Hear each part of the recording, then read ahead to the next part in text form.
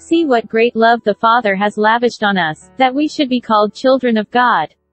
And that is what we are. The reason the world does not know us is that it did not know Him. Dear friends, now we are children of God, and what we will be has not yet been made known.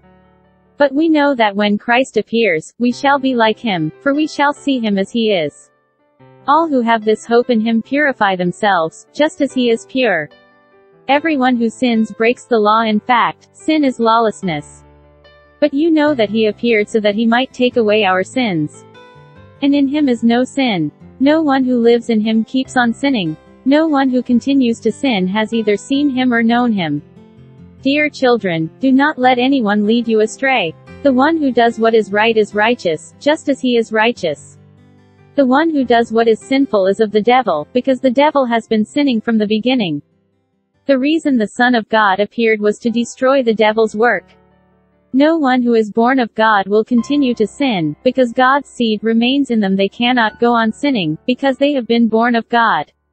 This is how we know who the children of God are and who the children of the devil are. Anyone who does not do what is right is not God's child, nor is anyone who does not love their brother and sister.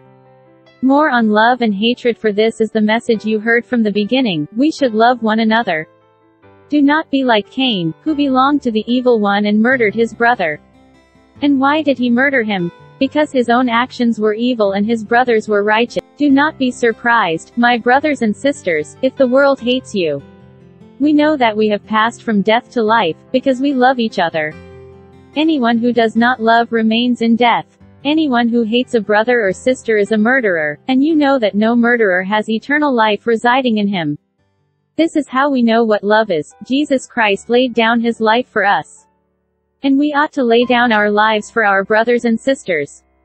If anyone has material possessions and sees a brother or sister in need but has no pity on them, how can the love of God be in that person? Dear children, let us not love with words or speech but with actions and in truth. This is how we know that we belong to the truth and how we set our hearts at rest in His presence. If our hearts condemn us, we know that God is greater than our hearts, and He knows everything.